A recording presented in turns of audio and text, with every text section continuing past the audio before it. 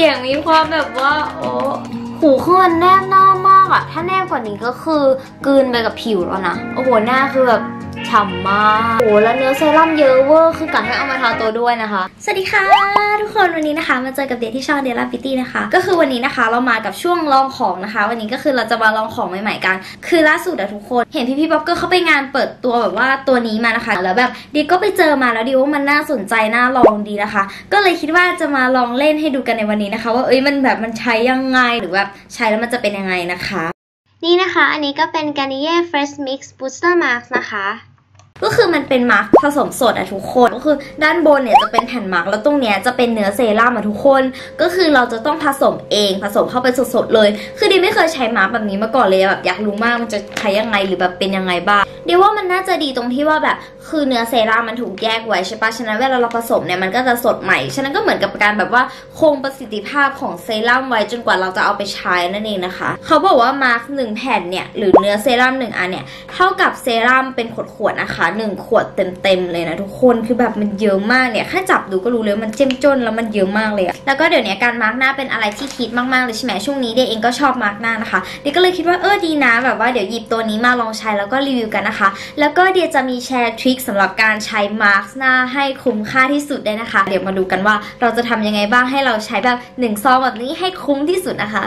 นี่ทุกคนคือเขาจะมี 2 สูตรนะคะ จะมีสูตรสีฟ้า Garnier Fresh Mix Booster Mask Hyaluron Shot นะคะ แล้วก็สูตรสีเหลืองนะคะ จะเป็น Garnier Vitamin C Shot Fresh Mix Booster Mask นะคะ เดี๋ยวเรามาลองอธิบายแต่ละสูตรดูนะว่าเป็นยังไงบ้าง คืออย่างสูตรสีฟ้าเนี่ยเขาจะเป็นไฮยาลูรอนใช่ปะไฮยาลูรอนก็คือช่วยเรื่องความชุ่มชื้น เติมน้ำให้ผิวกักเก็บความชุ่มชื้น เหมาะกับใครที่แบบผิวแห้ง หรืออาจจะแบบผิวผสมขาดน้ำหรือใครที่แบบผิวมันแล้วอยากเติมน้ำให้ผิวก็ได้เหมือนกันนะคะ เพราะว่าถ้าเราผิวมันใช่ปะแล้วเราไม่เติมน้ำให้ผิวผิวเราก็จะยิ่งผลิตน้ำมันออกมาเยอะหน้าเราก็จะยิ่งมันนะคะ แล้วคือพวกไฮยาลูรอนเนี่ยก็จะทำให้ผิวเราแบบดูฟูอะทุกคนมันจะดูแบบฟูๆเด้งๆนะ แล้วก็เวลาที่เราราใช้มาสก์ที่มันเติมความชุ่มชื้นอะ มันจะช่วยทำให้รูขุมขนเราดูกระชับด้วย เวลาที่ผิวมันรับน้ำเยอะๆใช่ปะผิวมันก็จะฟูขึ้นพอผิวมันฟูขึ้นรูขุมขนมันก็จะเหมือนแบบเบียดๆกันอะ มันก็เลยจะทำให้รูขุมขนเนี่ยดูเล็กขึ้น แล้วก็สูตรสีเหลืองนะคะ จะเป็นวิตามินซีช็อตวิตามินซีก็อย่างที่รู้กันเนาะ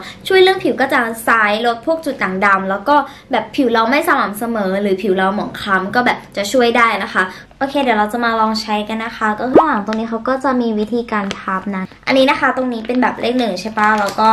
พับเลขหนึ่งเข้าไปก่อนชึบเป็นอย่างนี้ แล้วจากนั้นก็พับเลขสองเข้ามาจากนั้นเราก็บีบเนื้อเซรั่มตรงเนี้ยเข้าไปตรงแผ่นมาร์ก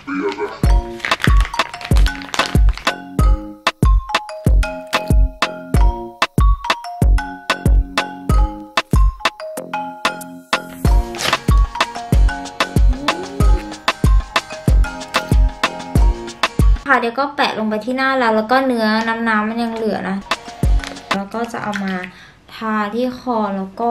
ทาตัวด้วย แล้วก็เดี๋ยวอันนี้เดี๋ยวจะทิ้งไว้ 15 นาทีนะ แล้วเดี๋ยวมาดูผลกันว่าหลังจากมาไอสูตรสีฟ้าแล้วเนี่ย มันให้ความรู้สึกหรือว่าผลลัพธ์เป็นยังไงบ้าง